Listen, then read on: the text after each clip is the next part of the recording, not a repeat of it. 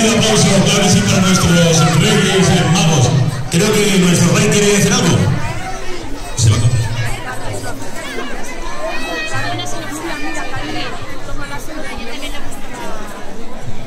Eh, vamos a repartir eh, estos magníficos premios para las carrozas de Pinto 2015. Para eso pedimos a todas las asociaciones participantes que pasen nosotros a la terraza. A la por favor, si queréis ir pasando para recoger vuestros